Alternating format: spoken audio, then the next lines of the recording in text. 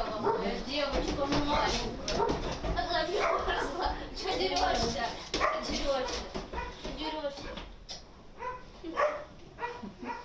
Ангелина біздің түсірілім тобын өзінің шағын саяжайынан күтіп алды.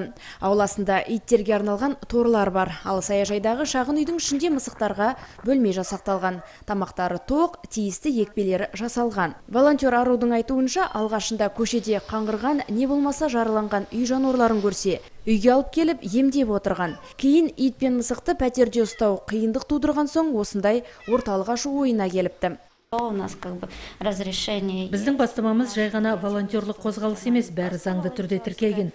алдымен жер сатып алдық. Осы шағын орталығымызды үш жылда салып болдық. Бұл орталық әрине қайырымды жандардың көмегімен ашылды. Жануарлардың жағдайына бейжай қарамайтындар табылып қолдарынан келгенше көмек көрсетті. қазір барлық қаржы жануарларды емдеуге жұмсалуда. болашақта бұл жерді кеңейткіміз келеді. Бүгінде Ангелинаның шағын ғана орталығында 30-дан астам қараусыз қалған үй жануары бар. Даладан әкелінген ит пен мысықтар алдымен белгілі мерзімде карантинде болады. Екпе жасалады, яғни санитарлық талаптар толық сақталады. Городе нет уже приютов поэтому өкінішке орай бұл жануарларды асырап алушылар аз қалада мұндай қоғамдық бірлестіктер де жоқ. сондықтан көліктің астына түсіп қалған немесе адамдардың қатыгездігінен жәбір көрген үй жануарлары қараусыз көше кезіп жүреді. Енді ветеринарлар өздері біздің орталыққа бағыттап жіберіп жатады.